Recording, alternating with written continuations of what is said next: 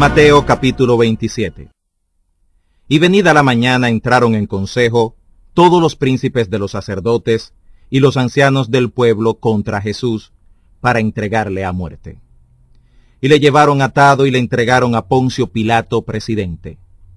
Entonces Judas, el que le había entregado, viendo que era condenado, devolvió arrepentido las treinta piezas de plata a los príncipes de los sacerdotes y a los ancianos, diciendo, Yo he pecado entregando sangre inocente.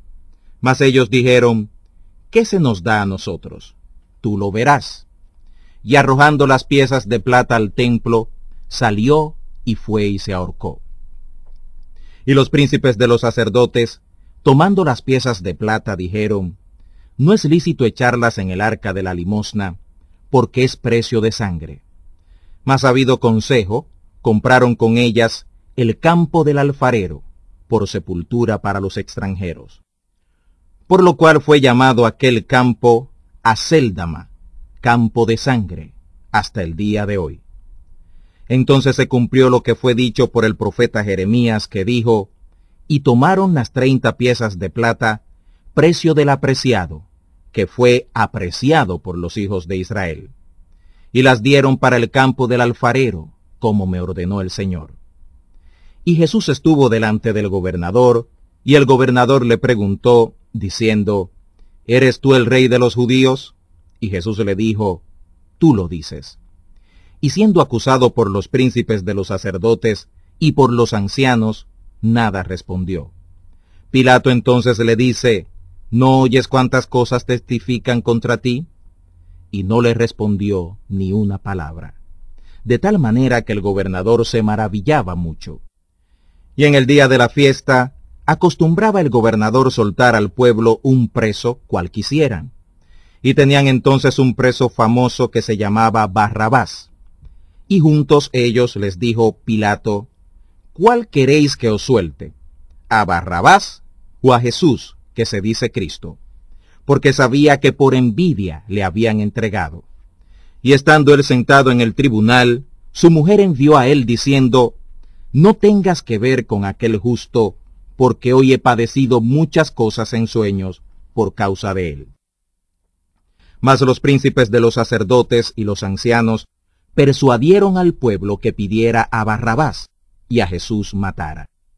Y respondiendo el gobernador les dijo, ¿cuál de los dos queréis que os suelte? Y ellos dijeron, a Barrabás.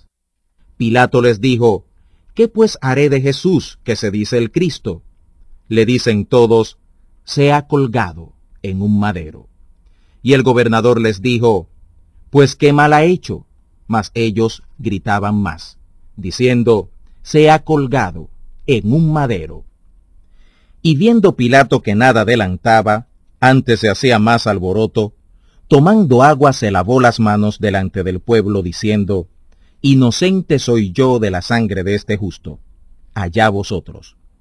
Y respondiendo todo el pueblo dijo, Su sangre sea sobre nosotros y sobre nuestros hijos. Entonces le soltó a Barrabás, y habiendo azotado a Jesús, le entregó para ser colgado en un madero.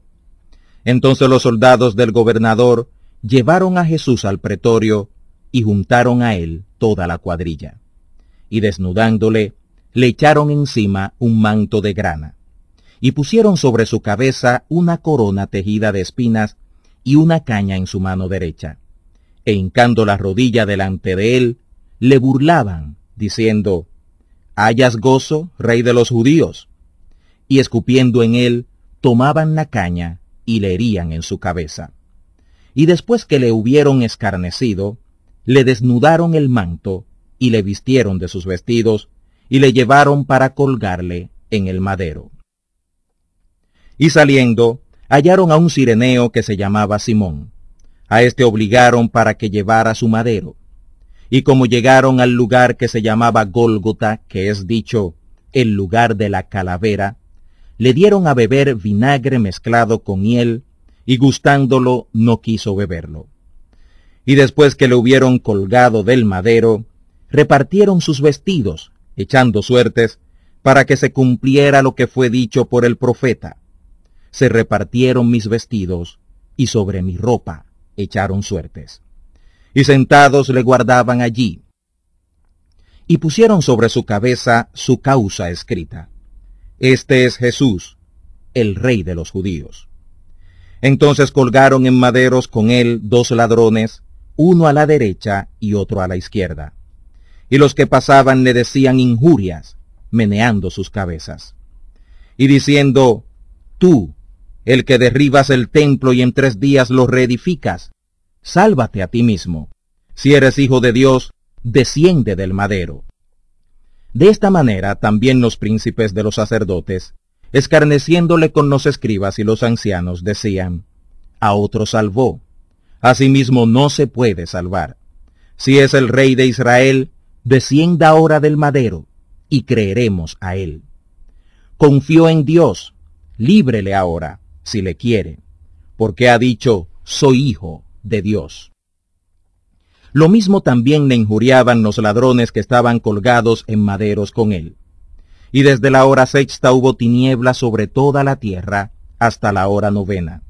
Y cerca de la hora novena, Jesús exclamó con gran voz diciendo, Elí, Elí, lama sabactani, esto es, Dios mío, Dios mío, ¿por qué me has desamparado?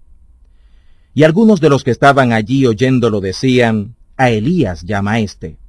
Y luego, corriendo uno de ellos, tomó una esponja y la empapó de vinagre y poniéndola en una caña, le daba de beber. Y los otros decían, deja, veamos si viene Elías a librarle. Mas Jesús, habiendo otra vez exclamado con gran voz, dio el Espíritu. Y aquí el velo del templo se rompió en dos, de alto abajo, y la tierra tembló, y las piedras se hendieron, y se abrieron los sepulcros, y muchos cuerpos de santos que habían dormido se levantaron. Y salidos de los sepulcros, después de su resurrección, vinieron a la santa ciudad y aparecieron a muchos. Y el centurión y los que estaban con él guardando a Jesús, visto el terremoto y las cosas que habían sido hechas, temieron en gran manera, diciendo, verdaderamente, Hijo de Dios era éste. Y estaban allí muchas mujeres mirando de lejos, las cuales habían seguido de Galilea a Jesús sirviéndole. Entre las cuales estaban María Magdalena y María de Jacobo y la madre de José y la madre de los hijos de Zebedeo.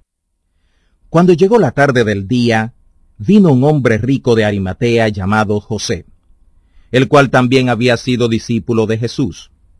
Este llegó a Pilato y pidió el cuerpo de Jesús. Entonces Pilato mandó que se le diera el cuerpo. Y tomando José el cuerpo, lo envolvió en una sábana limpia, y lo puso en su sepulcro nuevo, que había labrado en la peña, y revuelta una grande piedra a la puerta del sepulcro, se fue y estaban allí María Magdalena y la otra María, sentadas delante del sepulcro.